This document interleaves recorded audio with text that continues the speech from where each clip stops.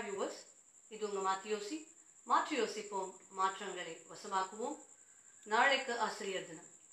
வாழ்க்கையில் பல துறைகளில் சாதிச்சவங்களும் சரி தலைவர்களும் சரி இல்லை சாதாரண நிலையில் இருக்கக்கூடியவர்களும் சரி மறக்க முடியாத ஒரு நபர் அப்படின்னா நிச்சயம் ஆசிரியர் சொல்லலாம். ஒரு களிமண் எப்படி உருவாக்கப்படுகிறது அப்படிங்கிறது ரொம்ப முக்கியம்.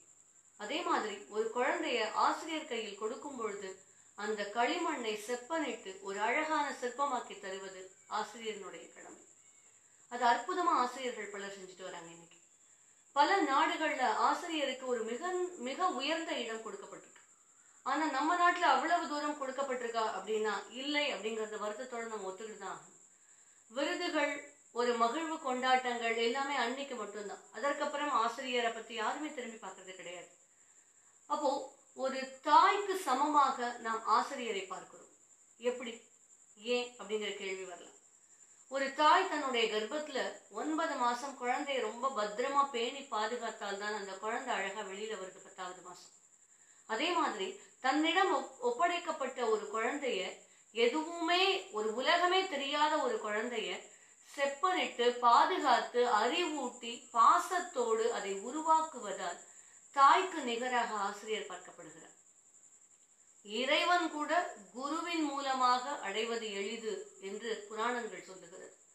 நேர கடவுளை பார்க்கறதோட ஒரு குரு மூலமா போனோம் அப்படின்னா கடவுள் கூட எளிதாக காட்சி அளிக்கிறார். அவ்வளவு பெரிய மதிப்பு குருவுக்கு கொடுத்திருக்கு. குருவை வணங்காமல் எந்த காரியமும் செய்யறதில்லை அப்படிங்கிறதுல நிறைய பேர் தீ- தீர்மானமாக இருந்திருக்கிறார்கள். புலவர்கள்ல இருந்து நிறைய பேரை நீங்க எடுத்துக்கோங்க வரலாறுகள் ஆசிரியரை வணங்கி தொடங்குகிற விஷயம்தான் வெற்றிகரமாக முடியும் அப்படிங்கறத அவங்க மறுத்ததே கிடையாது. ஒரு பள்ளியில ஒரு விழா நடக்குது. அதுல பேச்சாளராக இருக்கக்கூடியவர் ஒரு களிமண்ணை எடுத்து ஒவ்வொரு ஆசிரியர் குழுவுக்கும் கொடுக்குறாரு. கொடுத்துட்டு இந்த களிமண்ணை நீங்க எப்படி வேணாலும் உருவாக்கலாம் அப்படின்னு சொல்லிடுறாரு. அப்போ ஒரு பத்து நிமிஷம் டைம் கொடுக்குறாரு அவங்களுக்கு. பத்து நிமிஷம் முடிஞ்ச உடனே போய் ஒவ்வொரு ஆசிரியர் குழுவா பாக்குறாரு. அதுல ஒரு ஆசிரியர் குழு அந்த களிமண்ணில் விநாயகர் செய்திருந்தது.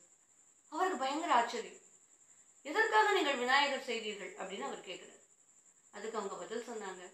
ஒரு சாதாரண களிமண் விநாயகன் உருவை பிடிக்கும் பொழுது இறைவனாக மாறுகிறது. அதே மாதிரிதான் ஒண்ணுமே தெரியாத மாணவன் கூட ஆசிரியரினுடைய கற்பித்தலினால் இறைவனாக மாறக்கூடிய தன்மை ஏற்படுகிறது அப்படின்னு அவங்க சொன்னாங்க. அற்புதமான விளக்கம் இல்லையா? ஒரு ஒரு அறியாமை இருளிலே மூழ்கி கிடக்கிற ஒரு குழந்தைய அறிவு வெளிச்சத்துக்கு கொண்டு வந்து அதை ஒரு மனிதனாக சிறந்த குடிமகனாக உருவாக்குகிறது ஆசிரியரினுடைய ஒரு தீர்க்கமான ஒரு தன்னலமற்ற சேவை அப்படின்னு நம்ம இங்க சொல்லலாம். ராமேஸ்வரத்துல ஏதோ ஒரு மூலையில உட்கார்ந்து சாதாரண பள்ளி கல்வியை படிச்சுட்டு ஒரு மிகப்பெரிய உயரத்தை எட்டிய அப்துல் கலாமின் வாழ்க்கையில் சிவசுப்பிரமணிய ஐயர் என்கிற ஒரு ஆசிரியர் மிகப்பெரிய தூண்டுகோலாக இருந்திருக்கிறார். இது அப்துல் கலாமே சொல்லியிருக்கார். உன்னால முடியும் கலாம். நீ நகரத்துல இருக்கிறவங்களோட சரிசமமா வரணும். அதுதான் என் ஆசைன்னு. அத்தனை விஷயங்களையும் மீறி மரபுகளை கூட அதற்காக தளர்த்தி அப்துல் கலாமுக்கு அவ்வளவு விஷயங்கள் அவர் போதிச்சிருக்கார். ஆக சிவசுப்பிரமணிய ஐயர் இல்லைன்னா அப்துல் கலாம் இல்லை என்கிற அளவுக்கு தன்னுடைய ஆசிரியரை உயர்த்தி பார்த்திருக்கிறார் அப்துல் கலாம். இன்னைக்கு மாணவர்கள் எப்படி ஆசிரியர்களிடம் இருக்கிறீர்கள்? கொஞ்சம் யோசிச்சு பாருங்க முன்னாடிலாம் மாணவர்கள் ஒரு ஒழுக்கத்தோடையும் ஒரு மரியாதையோடும் ஆசிரியர்கள்ட்ட இருந்தாங்க.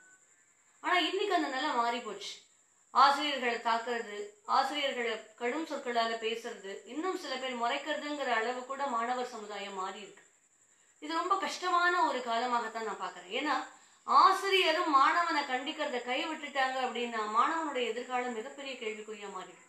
ஒரு பெற்றோர் கூட நீ படிச்சா படி படிக்கலைன்னா எக்கேடு கெட்டு போ அப்படின்னு ஒரு குழந்தையை தூக்கி எறிஞ்சிட்டு போயிட முடியும். ஆனால் ஒரு ஆசிரியர் திட்டினாலும் அடுத்த பத்தாவது நிமிஷம் தான் பக்கத்துல கூட்டி உட்கார வச்சு அந்த குழந்தைக்கு சொல்லி கொடுக்குறாங்க.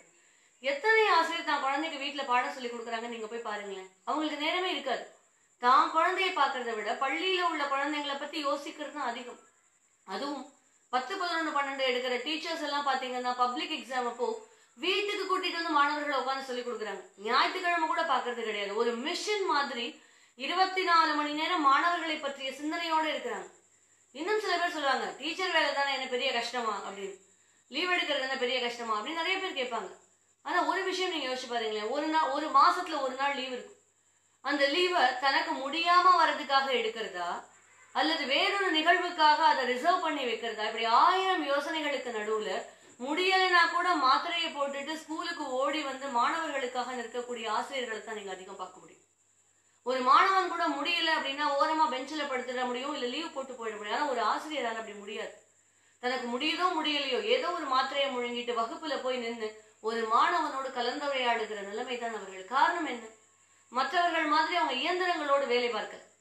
ஒரு கம்ப்யூட்டரோ ஒரு மிஷினோ இருந்தா நம்ம இல்லைன்னா இன்னொருத்தர் அப்படிங்கிறது இருக்கும். ஆனால் ஒரு பழக்கப்பட்ட ஒரு வகுப்பறைக்கு அந்த ஆசிரியர் அன்னைக்கு வரல அப்படின்னா அவ்வளவு பெரிய கஷ்டம் அந்த மாணவர்களுக்கு இருக்கும். ஆக தன்னையும் மீறி தன் நலத்தையும் பாராது அத்தனை விஷயத்தையும் தியாகம் பண்ணிட்டு மாணவர்களுக்காகவே வாழுகிற ஆசிரியர்களினுடைய தினத்தை மாணவர்கள் எப்படி கொண்டாடணும்? கேக் வெட்டி கொண்டாட வேண்டாம். பலூன் வெடிச்சு கொண்டாட வேண்டாம். ஜிகனாவெல்லாம் தூவி பூசி ஆட வேண்டாம். நீங்க பண்ணக்கூடிய விஷயங்கள் மூன்றே மூன்று தான் ஒழுக்கமா இருங்க.